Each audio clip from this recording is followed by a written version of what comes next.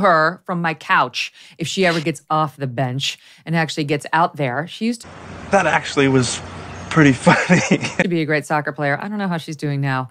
Um, but those girls need to represent this country if they agree to represent this country. That Dude, come on.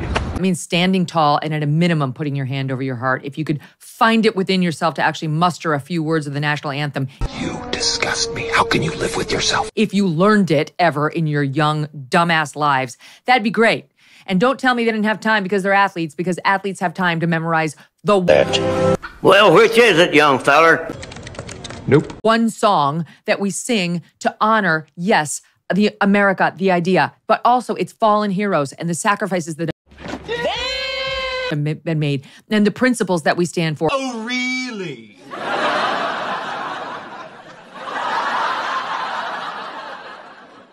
Me wow.